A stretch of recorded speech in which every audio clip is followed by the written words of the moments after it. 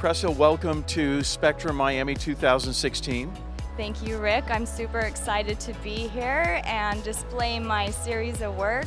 It's been always a dream of mine to be able to represent my own work and be here, so thank you very much. Why don't you tell us a little bit about uh, your evolution as an artist? When did you begin uh, as a professional artist, and how has that beginning changed the style of your work to what it is today?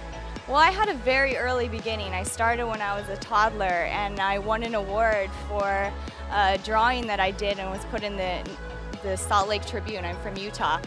And just the last eight years has been more of the professional beginning. Before it was just a passion and I kind of kept it in the closet.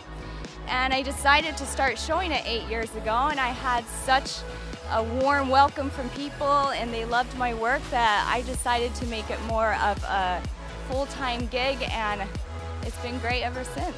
So since the show has opened, has there been a, a particular piece that people have been drawn to? I have a piece called Miami Betches about the Miami party, party scene and it's actually right behind you and I've been super excited telling people about this piece. It's just a fun one. It's a satire on the Miami party scene.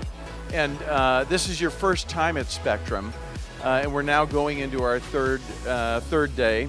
I'm wondering when you look at the uh, collection of work, uh, the exhibitors that are here, and the collection of art that is here, outside of your own work, has there been something that has uh, caught your attention that you thought has been interesting in the show? Well, I definitely am a big fan of Garso. He has some beautiful work. He's a Greek artist here, and he brought some new pieces today that have been very inspiring for me. He calls them the Muses.